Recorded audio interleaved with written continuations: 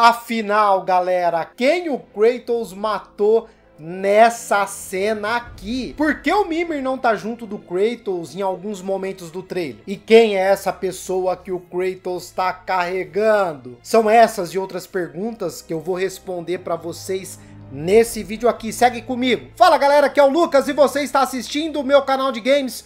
Tudo bem com vocês, pessoal? E estamos aqui para mais um vídeo, dessa vez 12 respostas para 12 perguntas intrigantes sobre God of War Ragnarok. Sejam bem-vindos os novos membros do canal, obrigado pelo apoio, a gente vem ganhando vários membros aí nos últimos vídeos, porque os membros vão ter a chance de ganhar um PlayStation 5, basta você ser membro. Calma, você sendo membro eu vou explicar como vai funcionar e tá vindo um vídeo dedicado só para isso tem a ver com o lançamento do God of War Ragnarok também, em breve mais novidades. Além dessa homenagem maravilhosa que eu preparei para vocês, para colocar vocês em todos os vídeos. Galera, obrigado pelo apoio fenomenal, obrigado a galera da casa pelo like no início do vídeo, obrigado pela confiança e audiência de sempre. Cara, eu não tenho palavras para expressar o quanto eu sou grato a vocês por todo esse apoio que vocês estão dando nesse momento do canal. Obrigado, galera. Agora você que está chegando agora,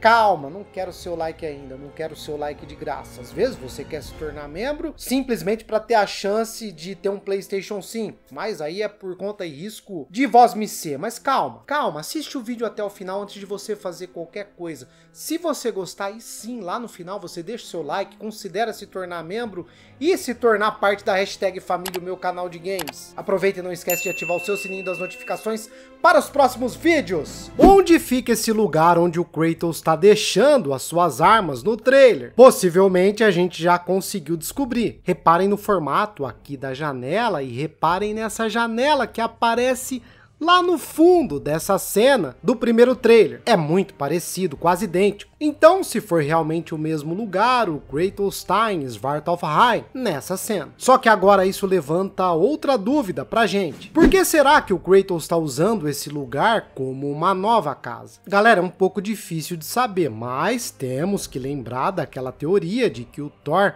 vai destruir a casa do Kratos, lembram? Será que ela vai se tornar realidade? É possível. E levando em conta essa possibilidade, provavelmente o Odin vai bater lá na casa do Kratos antes do Thor, já que a casa ainda tá inteira naquela cena do Odin. A casa do Kratos tá quase virando um ponto turístico, porque foi o Atreus quem abriu a porta pro Odin ao invés do Kratos. Um outro detalhe que eu não comentei no outro vídeo é o fato de que não foi o Kratos Kratos que abriu a porta para Odin, mas sim o Atreus. E isso é muito estranho se a gente levar em conta o quão cauteloso é o Kratos, galera. Quando Baldur bate na porta, o Kratos manda o Atreus se esconder e o homem mesmo vai lá e abre. E quando Thor faz uma visitinha lá naquele sonho do final do jogo passado, é o Kratos quem abre também. Então realmente é estranho. E por isso é possível que o Kratos não esteja em casa ali naquele momento. Mas isso também também é um pouco estranho, já que a gente sabe que o jogo não tem nenhum corte. Ele acontece todo em um plano sequência. Então, para isso funcionar, o Kratos teria que sair e a câmera teria que ficar para trás e continuar junto com o Atreus ali na casa, se essa for a mesma técnica usada como foi no jogo de 2018. E se o Atreus realmente estiver sozinho nessa cena, com certeza o Odin sabia disso e foi para lá justamente por isso. Ele deve querer algo especificamente com o Atreus. Eu acho que ele vai de alguma forma ajudar a plantar a discórdia ali entre o Kratos e o Atreus, para tentar separar os dois. Talvez aquele segredo que o Atreus sabe e não quer contar pro Kratos seja algo que o próprio Odin falou para ele. O que vocês acham? O que são essas bolinhas que o Atreus aparece segurando nos trailers? Faz um tempo que eu tô dizendo que possivelmente elas podem ser pistas que a Fei deixou para o Atreus. Isso por conta que a descrição do jogo vazou em um varejista, e essa descrição dizia que o Atreus teria que desvendar as pistas que a sua mãe deixou para trás. Eu realmente acredito nessa possibilidade. Mas também, galera, existe uma outra possibilidade que foi levantada por algumas pessoas dentro da comunidade, que diz que essas duas bolinhas podiam de alguma forma ter alguma ligação com os lobos, Skull e Hat, já que tá escrito Hat lá naquela bolinha azul do primeiro trailer. Só que a gente tem que lembrar também que uma possibilidade não descarta a outra, já que essas bolinhas podem ao mesmo tempo ser pistas da Faye e também algo relacionado ao Skull e Hat. É uma possibilidade. Quem é esse inimigo com armadura que vemos o Kratos enfrentando no trailer? Graças ao trailer com descrição de áudio que a PlayStation liberou, a gente consegue descobrir que esse inimigo aqui que aparece enfrentando o Kratos é na verdade um Enrajá. E caso vocês não saibam, os Enrajá fazem parte do exército do Odin. Eles são guerreiros que morreram em combate e foram para Valhalla. Então, provavelmente devem ter várias classes de Raja, já que a gente já tinha visto alguns lá no primeiro trailer. Eles só eram um pouco diferentes. E um pouco mais pra frente, nesse novo trailer, também vemos mais alguns inimigos que provavelmente são em Raja. Um deles tem um X besta, outro tem uma espécie de cajado. Aliás, lá naquela arte da Game Informer, a gente consegue ver dois inimigos parecidos com esses aqui do trailer, só com a única diferença de que eles têm uma foice, então devem ter vários tipos de enrajar. Qual é o reino que o Kratos está enfrentando? Enfrentando os guerreiros em Rajá. Sobre qual é esse reino, eu acredito, galera, que seja ou Vanaheim ou Fanheim. Eu sinceramente não acho que isso possa ser em Asgard, como alguns fãs estavam teorizando. E o fato de ter alguns guerreiros de Odin aqui também não comprova que é Asgard, já que também vimos alguns desses guerreiros lá em Svartalfheim no primeiro trailer. Então, possivelmente o Odin só deve estar tá mandando os inimigos para nos deter, independente de onde a gente estiver. Aliás, nós vimos no primeiro trailer trailer a forma como esses inimigos vão chegar, que é através daquela luz que cai do céu, que possivelmente tem ligação com a ponte arco-íris de Asgard. Então cá entre nós, galera, isso vai ser uma apelação. O Odin pode mandar qualquer pessoa para qualquer lugar, a hora que ele quiser. Será que existe alguma chance da gente também usar esse meio de transporte? Seria interessante. Qual é o nome desse inimigo de fogo que vemos em Muspelheim? Pelo Twitter, a Santa Mônica revelou pra gente que o nome dele é Flame Phantom, ou Fantasma das Chamas, trazendo para o português. Até o momento não dá pra gente saber muito mais sobre ele, mas alguns fãs acreditam que de alguma forma ele pode estar tá ligado ao Surtur, algum tipo de invocação dele ou algo do gênero é uma possibilidade. Quem o Kratos está carregando nas costas nessa cena? Como eu falei no último vídeo, é bem possível que essa pessoa que esteja nas costas do Kratos seja o Freyr, já que é um homem e tem uma bainha de espada nas costas. Isso sem contar que alguns elfos estão ajudando a proteger essa pessoa, e o Freyr é o deus dos elfos, então galera, tudo indica que deve ser ele mesmo. E se a gente levar em conta uma outra sinopse do jogo que havia falado que o Kratos e o Atreus iriam precisar reunir aliados em todos os reinos, talvez o Kratos precise da ajuda dos elfos para lutar no Ragnarok. Aí eles podem ter dado a condição de que o Kratos teria que salvar o deus deles, o Freyr. E de acordo com o mural no jogo de 2018, os elfos estão à procura dele. E eles afirmam que só o Freyr pode trazer a paz novamente e acabar com a guerra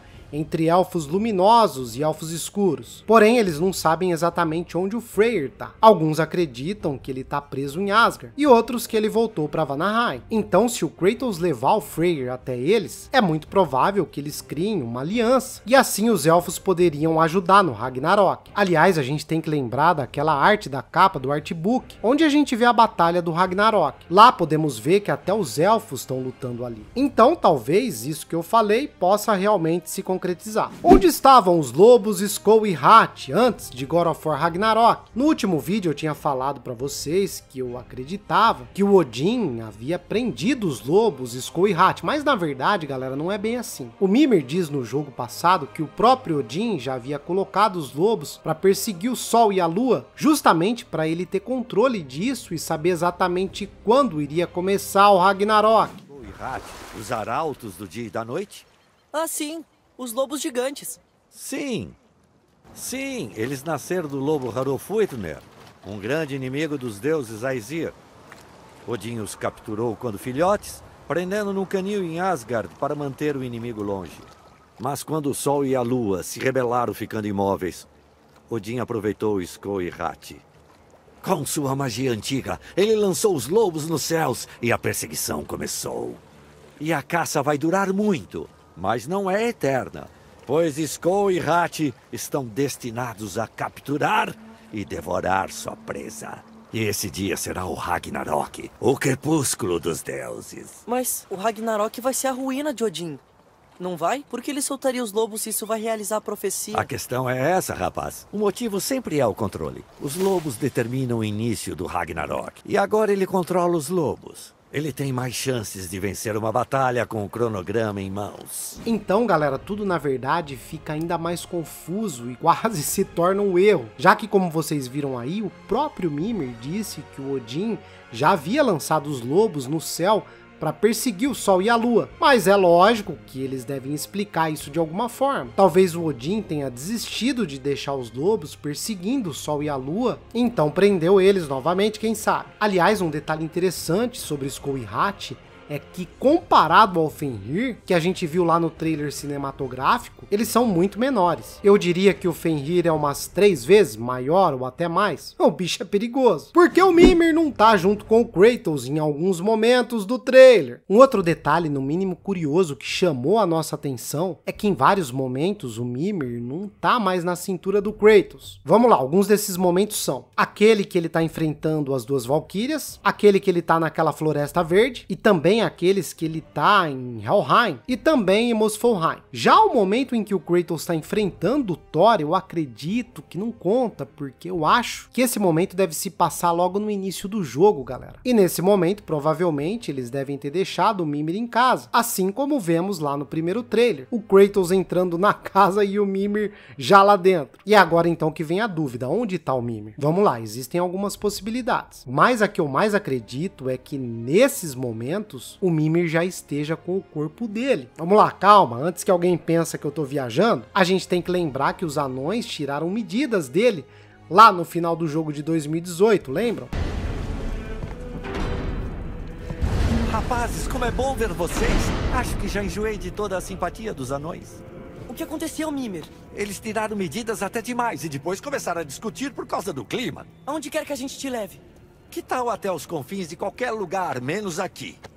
Mas além dessa prova, a gente tem uma outra, que é ainda maior. A gente pode ver algo que possivelmente é o Mimir com o corpo lá naquela arte da capa do artbook que eu acabei de citar. Então eu acho que existem grandes chances de que esse é o motivo dele não estar tá presente nessas cenas. Ou o Odin, quando passou na casa do Kratos, aproveitou para levar o Mimir com ele de novo. Pode ser. Quem é essa sereia que aparece na frente do Kratos? Temos algumas possibilidades. Uma delas é que ela seja a Han, esposa de Aegir e deusa dos oceanos dentro da mitologia nórdica. Mas também existe a possibilidade de que ela seja uma das nove filhas de Han e Aegir, que são as personificações das ondas. Infelizmente é difícil tirar muitos detalhes dessa cena, então é quase impossível dizer com certeza quem pode ser ela. Mas tem essas possibilidades aí que eu apresentei para vocês. Para finalizar, quem o Kratos matou nessa cena aqui? Por conta do diálogo do Odin, que acontece junto com essa cena, acaba que ela fica com uma ênfase bem grande. O Odin acusa o Kratos de ser um monstro que mata sem motivo, o que é verdade até certo ponto, né, Odin? E antes de dizer quem ele tá matando, vamos tentar entender onde ele tá. Pelas árvores vermelhas, eu diria que é ou na floresta da Freya, ou em Vanaheim, ou em Alfenheim. Duas possibilidades que eu acho que a gente pode riscar é Thor e Odin, já que as lutas contra eles devem acontecer em outros outros lugares completamente diferentes. O Freyr também não é, já que não faria nenhum sentido o Kratos salvar ele e depois matar o Kuitar. Então eu aposto que é a Freya ou algum outro personagem que a gente não viu. Mas como eu já disse no outro vídeo, eu acho que o Kratos não mataria a Freya com um nível de agressividade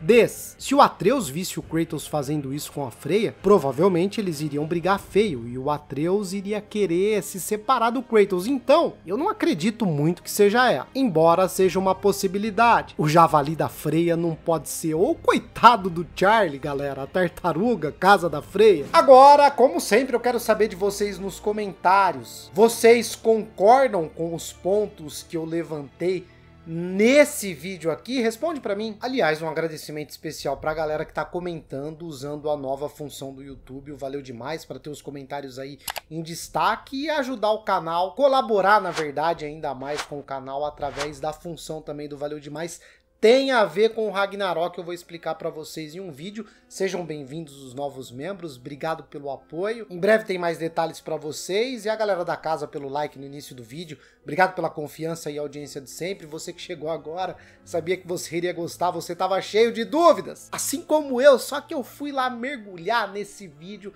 para trazer todos os detalhes para vocês. Seja muito bem-vindo ao meu canal de games, obrigado pelo seu like, pela sua inscrição. Agora, não esquece de ativar o seu sininho das notificações para os próximos vídeos. É isso, um beijo, um abraço. Fui, pessoal. Tchau, tchau. Até o próximo vídeo.